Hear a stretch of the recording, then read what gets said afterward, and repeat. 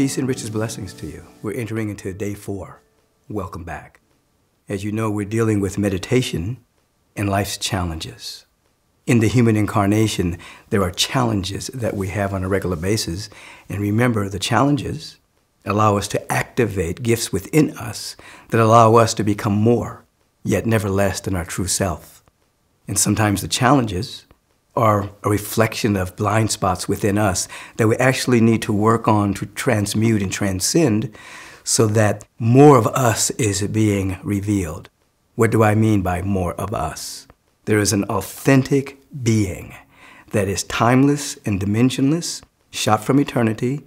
It's pure awareness, it's what you are. And so, this movement, these days that we have together, contemplating the truth, contemplating reality, is about becoming more aware that we are awareness itself.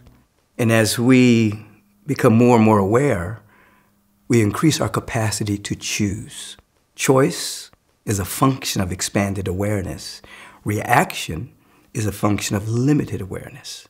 Today, we want to deal with loneliness. Loneliness, oftentimes people want companionship, they want to be around people, to oftentimes uh, cover up a feeling of lack, a feeling of insecurity, imaginary hole within themselves. And during these times where we have social media and we have individuals gaining a sense of self worth or self esteem based on likes, based on people flooding themselves to their particular media post. And we're living in, you know, we're living in a society, as I like to say, in which a wisdom transformational knowledge has been replaced by celebrity, the sense of loneliness is becoming increasingly something to deal with for young people and older people alike. Now, loneliness is, is abated when we are able to mm, like ourselves when we're by ourselves. The idea is if you can't like yourself when you're by yourself, you're going to be trouble with, when you're with other people. You're going to use other people to build yourself up. You're going to stalk people, perhaps. You're going to become addicted to people being around you all the time to cover up the feeling of inadequacy that's within you. Me, I love being alone. I love people. I'm a, I'm a public person. I'm around people a lot. But I love being alone. Now, what happens is when you start to appreciate who you are while you're alone, you come out of what is called interactive thinking. Interactive thinking are all those thought forms in which you are perhaps beating yourself up, perhaps uh, comparing yourself to other people, uh, perhaps having a level of jealousy or envy about what other people have, things of that particular nature. Those are interactive thoughts. When you begin to fall in love with yourself while you're by yourself, interactive thoughts decrease and inspirational thoughts increase. Thoughts of coherence around the fundamental nature of reality and the fundamental nature of who and what you really are. And so you want to become aware that when you're craving company, you're craving to be with someone, you're craving to be in a crowd, you have to go underneath that and see what's driving that. If you expand your awareness and be still for a moment and look to see what that's all about, you might see that you just don't want to sit by yourself because you have these interactive thoughts about how you're not worthy, interactive thoughts about how you're not enough, interactive thoughts about maybe you're not liked, things of that particular nature. Now remember when we began this, I defined meditation as paying undistractable attention to reality. And I said that reality is with a capital R. It is not your perception of reality, is that which is real. Now, what's real about you? What's real about you is that you're shot from eternity. You're a timeless being without any original sin, any original flaw, that there's something about you that has come to shine and to radiate, something uh, about you that you've come to give and share with the world. That's what's real. And if you sit with yourself long enough and go underneath the interactive thoughts of you're not good enough, the interactive thoughts of comparing yourself to others, the interactive thoughts about what you don't have, you will bump into you.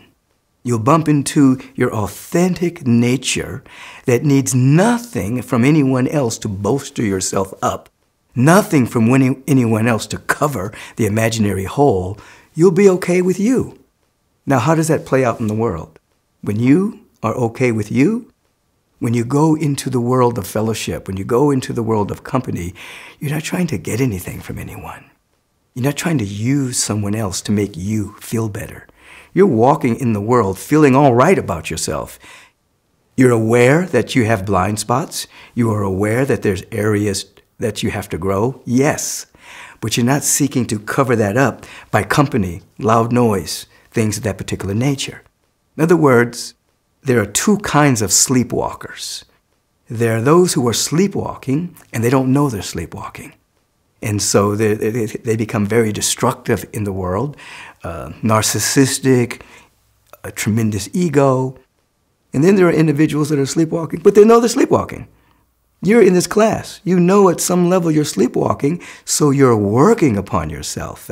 You're going into meditation, you're going into contemplation, you're going into introspection, so that you can become aware of the blind spots, but then open yourself up to the depth of your being, expand your awareness so you can choose a different way of being in the world.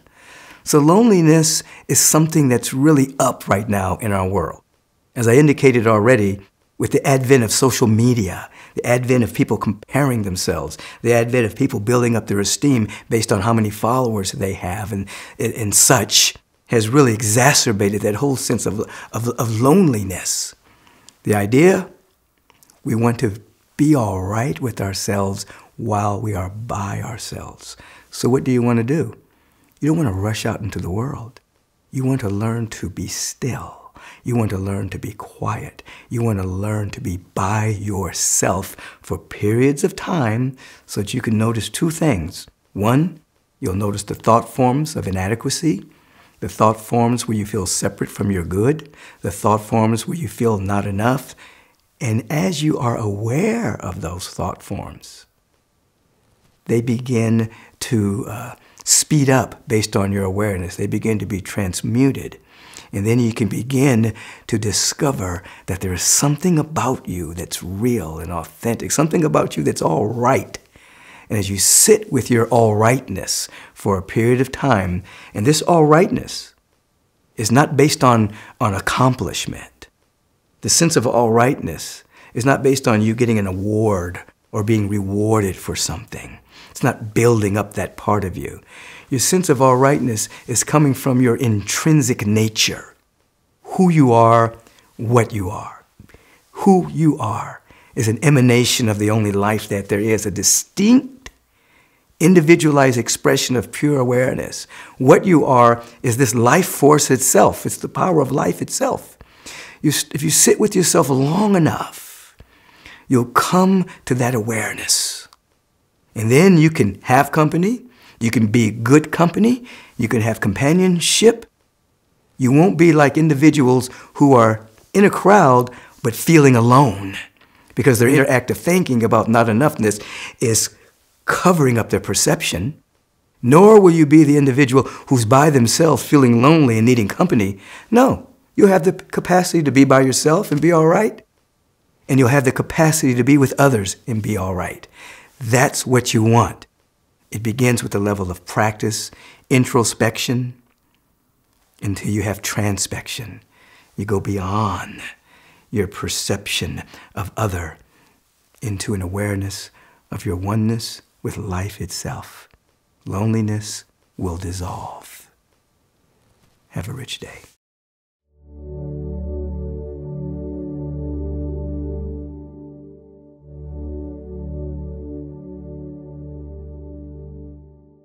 As you remember, there's theory and there's practice.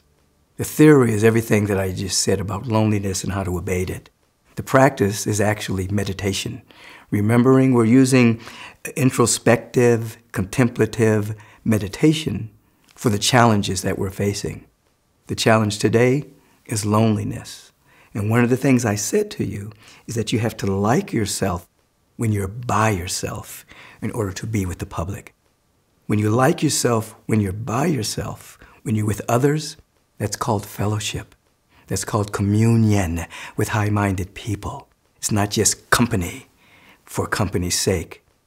You could even be with other individuals in the silence. You don't even have to talk because you're comfortable with yourself. Let's turn within and begin. Remember, as we've been doing for the last three days, you're settling, your feet are placed on the ground, your back is straight, it's erect, but it's not rigid. You're closing the outer eye. Perhaps you're squeezing your shoulders up to your ears and just letting go. Let's do that two more times. Squeezing your shoulders up to your ear. Breath, squeeze. Ah, let go. This one, you're going to breathe a sigh of relief like you have arrived where you've always wanted to be. Breathe in, squeeze, tighten, release. Ah. This is where we want to be. We're not longing for the good old days in the past. We're not running towards the future. We're right here. We're right now. We're right where our body is. And what is our body doing? The body temple is breathing. In breath, out breath. You're sitting with it. There's no future breath here. There's no past breath here. This breath is presently happening, becoming a, a gateway to the timeless, eternal now. The outer eye is closed, and you're becoming more and more comfortable with being right here, right now. Now let's exercise the use of your imagination for a moment. Just imagine you're sitting in your house, you're by yourself. And notice the thought forms that start to emerge. Your thought forms you normally have. Are those thought forms thought forms of, I want company, I like to be around some people, uh, I don't feel comfortable being here by myself. I'm lonely. Without judgment or censorship, you just, just notice what arises when you're by yourself. And if, in fact, there are thoughts that begin to emerge of, oh, I wish somebody would come over and visit me. I need to call somebody on the phone. I need to go out. Give yourself permission to notice what's underneath that. Is it a, a questing for companionship because you don't want to be by yourself? Is it not feeling good about yourself in some area of your life? Is it using someone else to keep you from feeling the emotional hole that's absolutely imaginary within yourself, the sense of not enoughness. This is just an awareness exercise. No judgment, no shame, no blame. You're just noticing the thoughts that are underneath that. Now, as you're noticing these thoughts, heretofore, you may have wanted to act upon them. Call someone on the phone, run out, and be with somebody in order to alleviate these thoughts. But now that you are becoming more aware of them, you're giving yourself permission to just sit and be aware of those thought forms. They are not the truth of you. They have emerged from experience in time, but they have not emerged from the eternal, from the timeless. They are temporary. And you are waking up and becoming aware that those are thought forms swimming in your consciousness but they're not you. So, this first moment, Just aware of what comes up when you see yourself in a room by yourself. What do you say to yourself? Not enough. I wish I had more friends. I need to call somebody. Just awareness.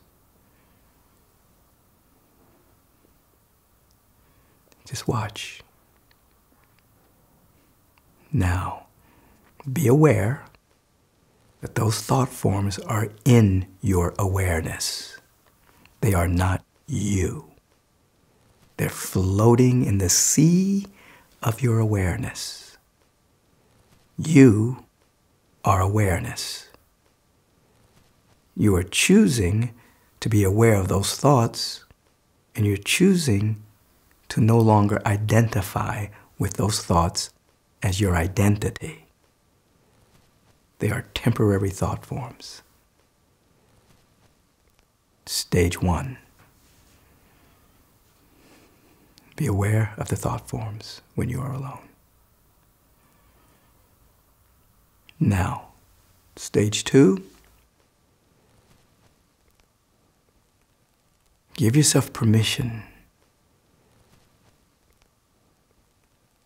to bring into your awareness a moment in your life where you felt good about yourself. You may have been in the bath of the forest,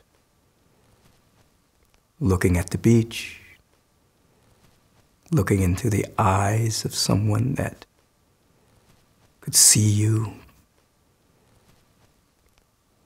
perhaps caught up in a reverie of poetry or just a moment of coherence. Just become aware of a moment where you felt all right about yourself. The genesis of this moment of you feeling all right about yourself, it may have come from something good that happened, something you perceived as good. But right now, I just want you to be aware of how you feel about yourself. The feeling of hmm, I'm all right. The feeling of, hmm, there's nothing really wrong with me. The feeling of, there's so much life here. Now allow the seeming external impetus of that feeling to dissolve, but stay with the feeling. It's a feeling tone of I'm all right. I'm all right. There's something good about me. I'm all right. Come with me right into that feeling tone right now. And begin to notice in this awareness, you don't need an external stimulus to feel good about you. This feeling tone is an extension of your real nature. It's an extension of who you are. You're giving yourself permission to stabilize this awareness. But I want you to do at this moment is to place your attention on the feeling tone of you're all right. Say inside, of your own awareness, I'm, I'm all right with me. I'm all right with me. There's something about me that's all right. Just sit with that for a few seconds. As you like yourself when you're by yourself, you'll like yourself when you're with others. But you will not depend upon others to make you feel good about you. You're becoming empowered. You're becoming the authority over your own awareness. You're becoming free, liberated. The thought forms of lack, not enoughness, that may have been exacerbated by comparison, social media, celebrity, being important, they're now fading. You're placing your attention on the truth that you're all right. Now I want you to take a, take a deep inhalation, release. Another deep inhalation, release. Another deep inhalation, suspended at the apex. Do not let the air out, but catch the feeling tone that you're all right by yourself. Now release. We're allowing our nervous system to catch up with our inner declaration. As you sustain that breath, your nervous system is catching the thought form that you're all right whether you're by yourself or whether you're with others. The sense of loneliness is dissolving into all one, alone, all one. I'm one with life.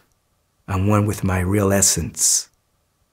This is a practice until you can be by yourself and you can be with others. Stay with it just another moment, just another moment with me right here. So here's a reminder of the practice. You sit, you imagine you're in a room by yourself. You notice the thought forms that are emerging, thought forms of perhaps of loneliness, not enoughness, needing someone to fill in the imaginary hole of some original flaw. You have awareness without judgment. Your awareness itself starts to disintegrate those thought forms. And then you become aware of a moment in which you felt all right about you. That moment may have had its genesis in an external something, but you go to the feeling of it, regardless of where it came from. And here we sit with this. I'm all right. With every breath, it expands. We become integrated with it. We walk with it. Until ultimately we can be by ourselves and like ourselves. We can be with others and like ourselves. We don't have to have likes to like ourselves. We don't have to have other people's approval to like ourselves. We're back at the beginning. Pure awareness. We're all right. Slowly open your eyes. Feel that you're all right.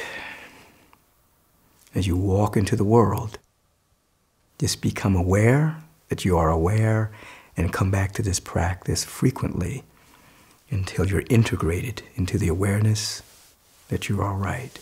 Why? Because you are. Have a bright day.